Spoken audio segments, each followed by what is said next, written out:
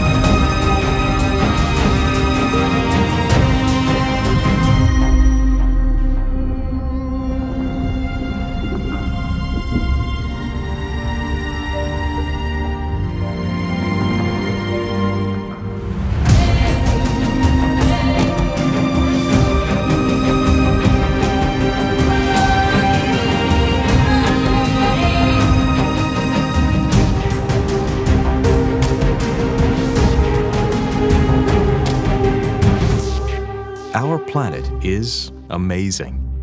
Its lands and oceans are home to a fantastic array of life.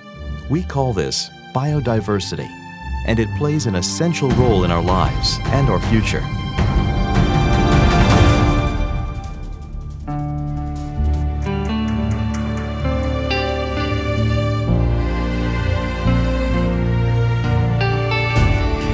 Our well-being is dependent on our planet having a rich variety of life.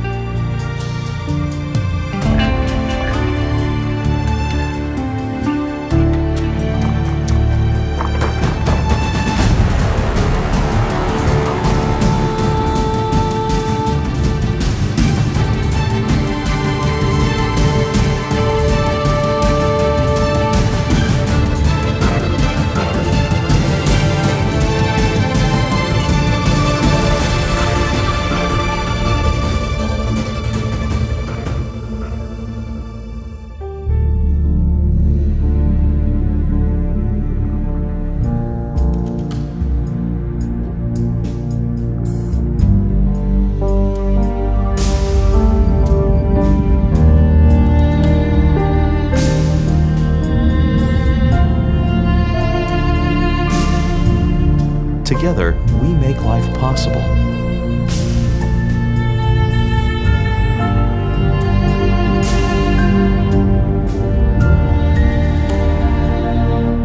Biodiversity is us.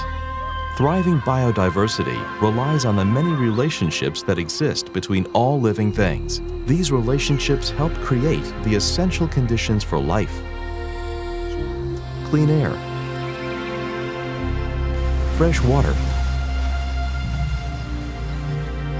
and food. The environment also provides us with the resources we use for energy, shelter, and medicines. Clean air and water require a healthy environmental balance.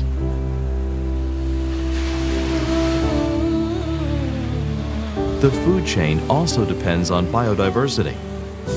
While plants make their own food using sunlight, water, and carbon dioxide in a process called photosynthesis, animals and humans need to eat food. But should any food supply become scarce or die out completely, this can have serious consequences on other species too. The food chain shows how each living thing gets its food. It describes who eats what or whom. Typically in the food chain, bigger creatures eat smaller ones. This is part of the natural cycle of life. In our oceans, the blue heart of our planet, small fish eat tiny invisible organisms called plankton. These fish are then food for larger fish that in turn provide a tasty snack for even larger predators.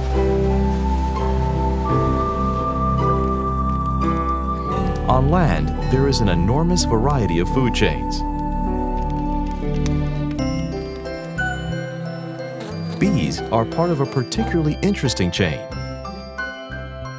Bees feed from the nectar of flowering plants. They use this nectar to produce honey. In the process of flying from one plant to another, bees and other insects pollinate flowers, allowing them to reproduce. This results in a wide range of grains, fruits, and vegetables that are an essential part of our diet and the diets of many other animals. Did you know that bees pollinate around 70% of the crops eaten by people around the world? This makes them very important for our own food production. Bees are also food for larger insects and other animals, such as spiders, frogs, and birds. At the other end of the food chain, in a process called decomposition, bacteria and fungi break down any plants or animals that die. This important process allows their nutrients to be released, enriching the water or land in which they once lived. This is nature's way of recycling. Nothing is wasted. The availability of enough food, water, and resources for every creature to live and grow depends on the health of the surrounding environment, making biodiversity essential for life. Zoos and aquariums around the world are playing an important role in conserving biodiversity.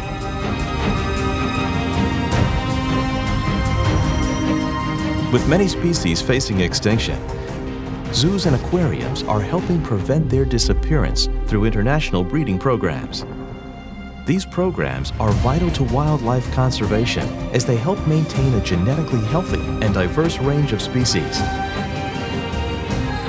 One in seven threatened species can be found in a zoo or aquarium, and several animals, now extinct in the wild, live on in human care. There are also hundreds of conservation projects carried out by zoos and aquariums around the world right now, including reintroductions. For example, Przewalski's horse, the last species of wild horse, had become extinct in its native environment but thanks to a zoo conservation project, the species was reintroduced to its home in Central Asia, a process that continues today, ensuring that this species continues to thrive in its wild habitat.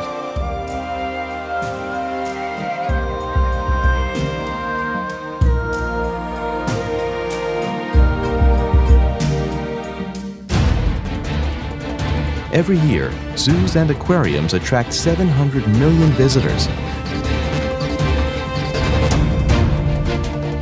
Their living exhibits are fun and exciting and allow visitors of all ages, just like you, to discover and experience our planet's amazing wildlife firsthand. But more importantly, zoos and aquariums are centers for education and research, as well as showing people how they can care for our planet and become part of the solution to promote biodiversity.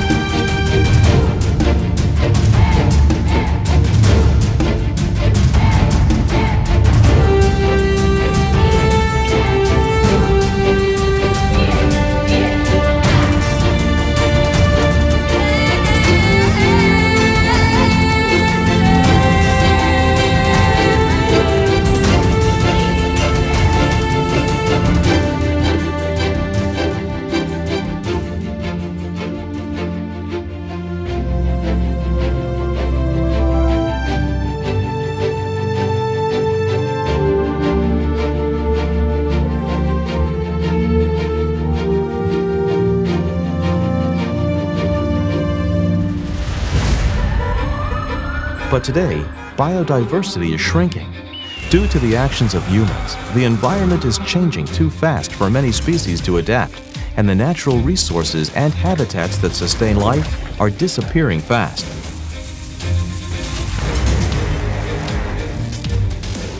This does not only affect other species, it affects you too. Our expanding use of resources is leaving an even larger footprint on the, the environment. While you need water, energy, and other resources to survive, it is important not to use too much of any one thing. Otherwise, nature cannot replace them for future generations. There is a lot you can do to reduce your footprint, protect biodiversity, and restore the balance of nature. And little things can make a big difference. You can promote biodiversity in your everyday life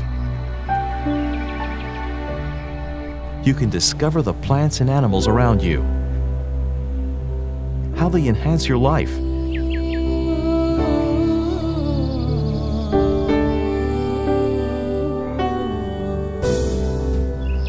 and how you can enhance theirs.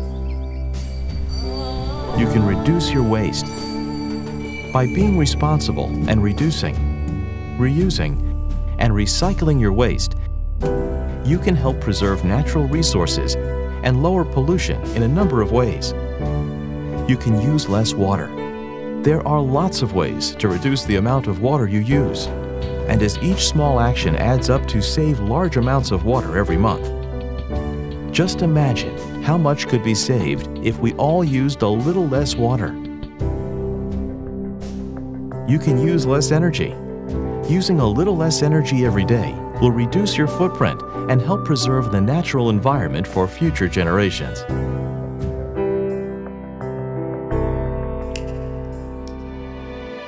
You can adapt your shopping habits. The way some food and products are made are bad for the environment, so the way you shop can support positive change.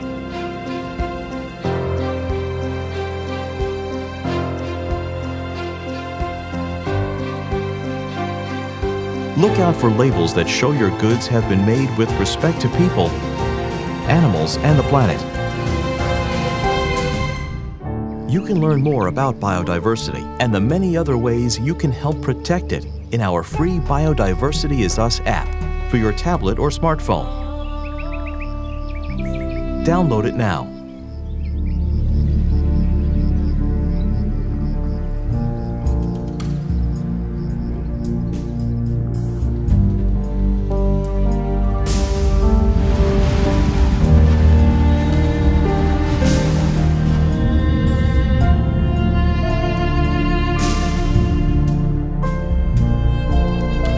Just imagine if each of the 700 million visitors to zoos and aquariums made even one small change to support biodiversity. What change will you make? Biodiversity is us. We can all make a difference.